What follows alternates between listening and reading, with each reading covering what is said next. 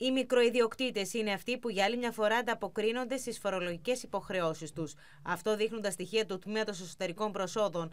Μέχρι στιγμής εισέρευσαν στα κρατικά ταμεία από την καταβολή του φόρου ακίνητης ιδιοκτησίας περί τα 25,5 εκατομμύρια ευρώ. Πλήρωσε περίπου το 1 τρίτο των οφειλετών. Αν, αν φτάσουμε τον περσινό στόχο τα 94 εκατομμύρια, θα είμαστε ευχαριστημένοι.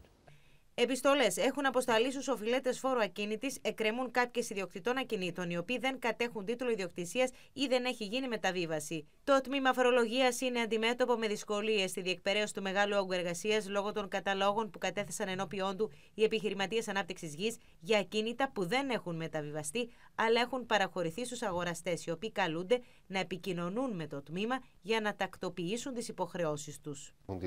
Είναι, είναι, είναι αρκετοί. Μιλούμε για μπορεί να είναι και 100-150 χιλιάδες αυτοί οι οποίοι ε, τους έχει παραδοθεί το διαμέρισμα, το σπίτι κλπ. Αλλά δεν έχουν εκδοθεί ακόμα οι τίτλοι ή δεν έχουν μεταβιβαστεί. Μπορεί να έχουν εκδοθεί τίτλοι και δεν έχουν μεταβιβαστεί ακόμα πάνω τους. Επισημαίνεται ότι αν ο φόρος που προκύπτει πληρωθεί τουλάχιστον ένα μήνα πριν την τελευταία προθεσμία πληρωμής του, δηλαδή μέχρι τις 31 Οκτωβρίου 2014, τότε θα παραχωρείται έκπτωση 15% επί του οφειλόμενου φόρου. Σε αντίθετη περίπτωση, αν η πληρωμή γίνεται μετά τις 30 Νοεμβρίου του 2014, θα υπάρχει πρόσθετη χρηματική επιβάρυνση 10% επί του οφειλόμενου φόρου, συν τους οποιοδήποτε ενομισμένου τόκους και τα διοικητικά πρόστιμα που προβλέπονται στην νομοθεσία.